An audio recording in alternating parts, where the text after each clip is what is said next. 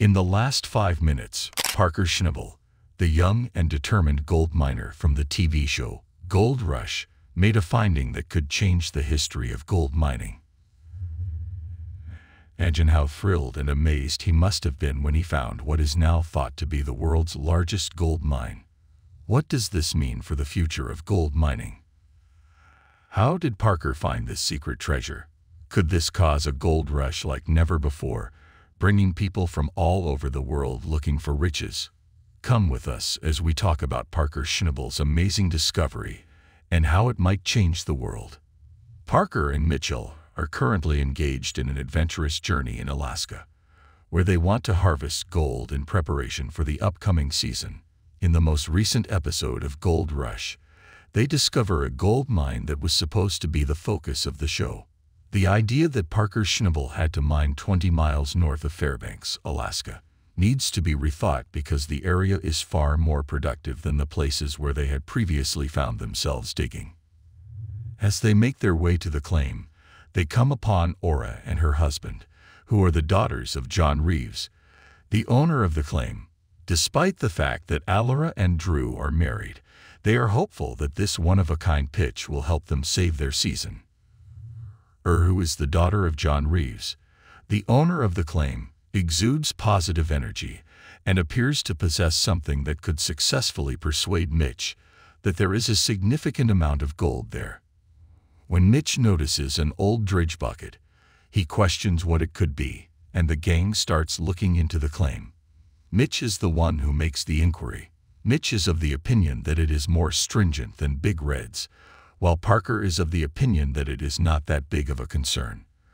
Ora arrives at the conclusion that the final miner would have left behind any gold that was larger than what they were able to steal, and that said gold would have been theirs to take. For the purpose of investigating a region that had been mined in the past, they delve further into the claim. Parker follows some dirt further into the claim in an attempt to investigate it for evidence of gold, but he does not discover any. Ora explains that they cause more than one hole to be punched and that the entire region was comprised of drift tailings. On the other hand, just because they don't discover gold in one pan does not mean that they won't find it in another pan altogether.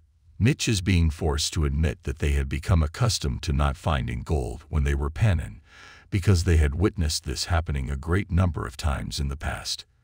Despite the fact that Mitch is trying to figure out what past explorers accomplished at the dredge site and has discovered that everything was taken up by shafts, her agrees in a mocking manner that it is difficult to find gold. Alora divulges to him all of the information that she is aware of concerning the events that took place prior to the arrival of the dredges, which indicates that there is an stratum that will contain gold. Mitch assumes control of the situation and is able to comprehend the progression of the older miners from the lowest to the highest pay level. They were searching for gold in a drift that had been set there more than a century before, and Parker and his team were doing the panning. They did not locate any gold, so they contacted Alora to ask for assistance in locating the gold. This has the potential to completely alter things, and once Parker's wash plant arrives, he will be able to mine it in a rapid and simple manner. The enormous amount of money that Parker and his team might gain from this discovery demonstrated that they were ready to make the most of the opportunity whenever it presented itself. In a cry directed at Mitch, Parker informed him that they had arrived on board and that this was the beginning of an adventure in Alaska. He went on to extol the virtues of the pan and emphasize the presence of gold within it in light of the fact that they would have to relocate everything if they were going to mine there in the end. Parker stated that it was reasonable to smash it through a plant nonetheless. Native American Tyler Lee aimed to ensure everything went according to plan, while Mitch and Parker were away.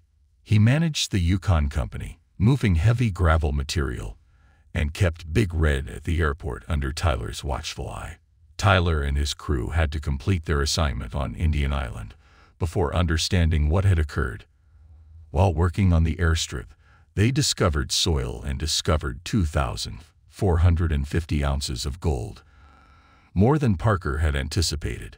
The plane, which could travel 1.8 miles at the airport every hour, produced approximately 160 tons of gold during 90 hours. Both Mitch and Parker were surprised to discover 2,450 ounces of gold, valued at about $400,000 in cash. Parker reported that the team was discovering new things at a rate of 2.5 hours every hour, which was faster than he expected. Despite not having the gold, Tyler was motivated and relieved that everything was proceeding positively. Packing the gold was left behind during Mitch and Parker's departure from the house. Tyler was relieved to learn that Mitch and Parker would be able to leave the airstrip without difficulty and that everything would proceed according to the original plan. They continued with their job, discovered gold, and moved earth among other successful endeavors. Because he began mining for gold when he was 16 years old, Parker Schnabel, who is a gold miner, has amassed a significant amount of wealth. With the intention of assisting his Stanley's mining enterprise in getting off the ground, he began his professional life by accumulating funds and making investments. During the first season of the television show Gold Rush, he discovered an incredible 960 kilos of gold in the Klondike on Canadian territory. After acquiring gold worth $13 million by the time he was 24 years old, he never relinquished his commitment to his business. Mining firms face a substantial challenge in the form of royalties paid in gold. This is because mining companies are required to pay royalties to the government or to any other party to whom they owe money for mining on the property that they are on. In addition, mining businesses in Alaska are required to pay a royalty of 3% of their net profits.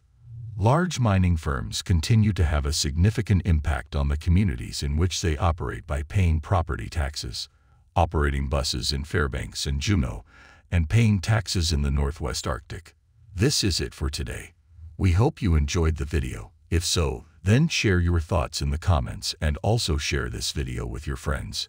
Don't forget to subscribe to our channel and press the bell icon so you can never miss our video.